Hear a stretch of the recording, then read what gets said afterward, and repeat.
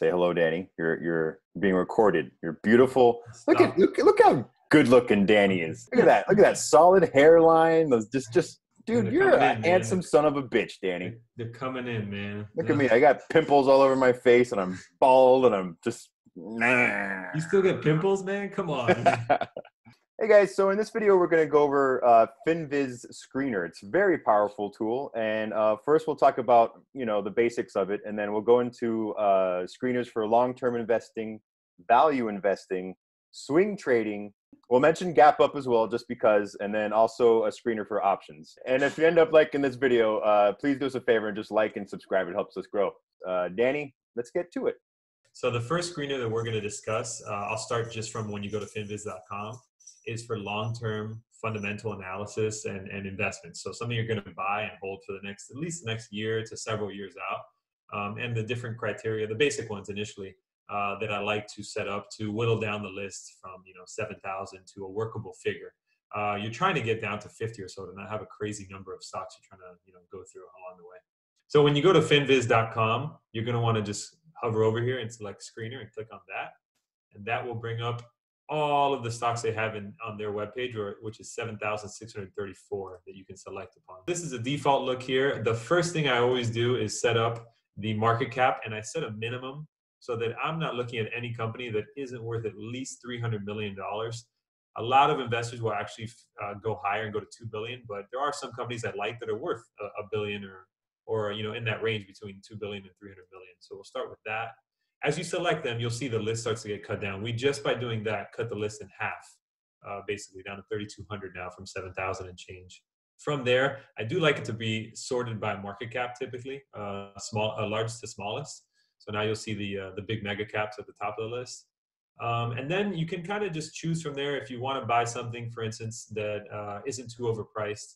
You'll want to look at a uh, say a price to earnings ratio under in this crazy market let's say 25 and now our 3200 became 1470 and you'll see that as we start selecting things um, the, that number keeps getting smaller and smaller so you have less homework to do on, on a particular company you might like. I like to keep the price to sales ratio under three.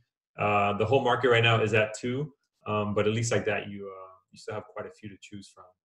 And now we're at a thousand already very quickly from 7000 so with just three options selected. With the market the way it is, and and you know companies being kind of low on cash, is price over cash one you should look at? Is that no? Because the problem is there that um, sometimes they might not have. When I say they, Finviz might not have that data put in. Um, once you get into some of these more granular ones, um, sometimes they just don't have the data. So you might actually lock, knock out a, a stock from your list uh, from the screen that would actually be something you might be interested in.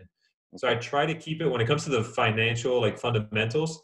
I try to just stay with the top line, very clear top uh, important numbers, uh, because those you aren't going to erroneously, uh, you know, exempt stocks that you might otherwise be interested in. Okay. Um, you do want to avoid ones with high debt to equity. That, that is a great question and a segue to your question actually. Uh, in this environment, it's very costly to raise capital and and it's very dangerous to have a lot of debt because uh, cash flow and uh, and sales are very questionable right now. And who knows when they'll normalize? So you want to keep the debt to equity ratio low, ideally. So I wish you could do custom, but you have to pay for that service. So we'll just do under one. And now our list is down to 90% less than it was initially. What does under one mean though? So they have less debt than they have equity. So let's say they borrowed uh, a dollar, that means they have at least a dollar oh one worth of uh, of actual equity, uh, whether it's cash or shareholder equity. Um, you don't want a high figure there because that that just means they're using a lot of leverage, and a lot of leverage means a lot of bills to pay, and, and more likely that they uh, they struggle if there isn't some sort of cash flow uh, coming in. So just by doing these four, uh, we've got a, a pretty workable list already. I typically will go through the technical side as well and look for stocks that are performing decently. You really don't want to be buying a stock that's just perpetually just plummeting or perpetually going up because you just don't know when that that trend turns uh, turns around at that point. Um, so you can actually just depending on, on your own preference. Uh, I, I like to look at something that is not oversold So ideally above 40, so it hasn't been just dumped relentlessly, and and that whittled it a little bit. Ideally, you'd actually want to have this figure lower for a real safe long-term investment. Um, ideally under one, honestly, and that really lowers the list. Now you're seeing the WalMarts of the world. I would avoid energy. Uh, it's a sector that hasn't done well and probably will continue to struggle for quite some time with oil uh, as cheap as it is. But you get a pretty good list here now if you avoid uh, certain sectors. Along the bottom here with these tabs, you can actually look at other criteria rather than just a sector. I actually really like looking at the financial one because this shows a dividend. So I'll actually a lot of times sort by the dividend um, and then go back to the overview to, to make sure you're avoiding certain sectors. Um, but now you know these are dividend paying stocks that might be a much better long term investment at that point if you're if you're in it for the long haul. Let's see, so Canon fits all our criteria. You've got price to sales below one, a P ratio below 25, and a 7% dividend yield right now, which is excellent. So all the numbers down here, um, how often are they updated? By do, do they update the moment the stock price goes up or down? Yes, uh, on Finviz, if you're not paying for the uh, premium elite program or whatever, uh, it's 15 minutes delayed data. I typically do this type of screening, and, and I call it just like your, your basically due diligence as far as his homework on stocks uh, on weekends or after hours, so that the data is fresh. Because uh, it's 4 p.m., the stock market's closed, and you're not having to worry about you know something refreshing or something happening throughout the day while you're searching for stuff. And then I, I would imagine the only thing that isn't updating every 15 minutes is the target price, right? Because that's like that's like yeah, a, that's just uh, the target price is just the average analyst uh, price target. And do you so, know how often that would update? Typically, a year or two out is what they're trying to aim for that price. Oh, okay, good to know. Yeah, um, they don't tend to update that throughout the year, except around earnings, because that's when new data really comes out. Analysts are, are really data driven. Um, so if their sales start to improve, you could expect an upgrade and the target price to, to head higher. Uh, the more popular stocks have more analysts covering it, so you can expect more analyst activity. This is all the analyst activity right here. You see the color coded upgrades and downgrades. So going back to February of 2019, there have only been three analyst moves on this stock. Oh, okay. Yeah, so it's not that common.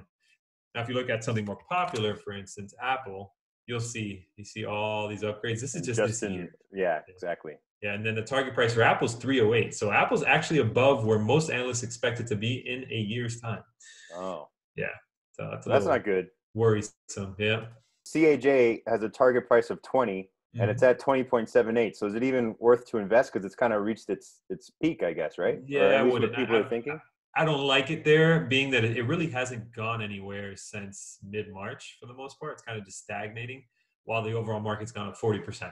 So it's a it's a very um, big underperformer right now. I do like utilities in this environment because people are going to continue to pay for their electricity and, and water and gas bills and all the rest. So this one's actually not terrible. Target price of 10, dividend yield of 7.7%. Very good on the earnings front and price of sales as well. Lots of green. That's what you want to see. And very little analyst coverage. So don't put much behind the target price. Actually, look at this. One upgrade in 2017. okay. Yeah, that's what I was saying. Like the the analyst and target price, it has to be popular stocks. If not, I really don't put too much credence behind it. So you'll see, uh, I did start with the same exact criteria. I always said this. This is the first thing I do with any screener which is the uh, the market cap. Uh, but I did adjust this one here, which relative volume means that uh, basically the stock is is being has been trading far more actively than usually does. This screener really what you're looking for is higher volume in a stock, uh, which tends to lead to the next criteria I set up, which is higher volatility. Um, and because volatility greatly affects the price of options, uh, you want to be selling options that have higher volatility because when volatility retraces and reverse, reverts to the mean, you'll make more money off of it at that point. So that's pretty much all of them. Beyond that, um, yeah, that's really it. All I have set up right now are these three um, on these. And then you'll see this populates a list of 62 stocks that I would then start to look at closely as, uh, as possible option trades it's no coincidence United Airlines is on this list. That's why I recommended it as a vertical put spread last week's video. And and that trade has actually done very well. yeah, yeah. If you watched our last video and you did that trade, you, you're you're doing pretty good right now.